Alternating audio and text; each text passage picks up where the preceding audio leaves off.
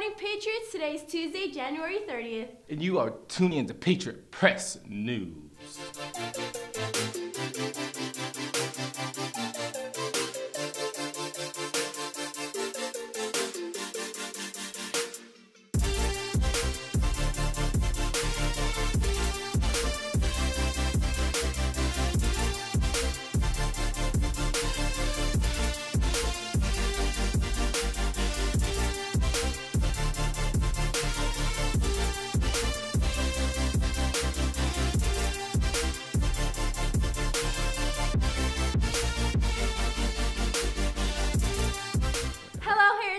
I'm Andrea Gonzalez. And I'm Travis Hubbard. And here are this morning's announcements.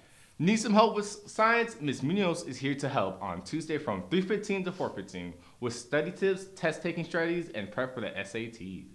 Make a Wish will be having a coin drive this week. Each third period will class will have a blue or red cup. Whichever class collects the most money by Friday will win a donut party. This Friday is Mr. Heritage. Come out to the theater at 7 p.m. Friday night to see 19 compete to become the one, the only Mr. Heritage. The audience will vote that night to crown the winner. Pre-sale tickets are $8 or you can pay at the door for $10. Black Student Union meets Wednesdays during both lunches. Come learn about Black History Month activities. If you're interested in participating in the District Poetry Slam, see Miss Kemen in room W203 at lunch or after school Thursday, February 1st. Heritage High School will be hosting the ASVAB February 14th, 1st through 4th period. If you are a senior interested in taking the test, please see Ms. Smith in counseling to sign up. There are limited seating for seniors, so it will be on a first come, first served basis.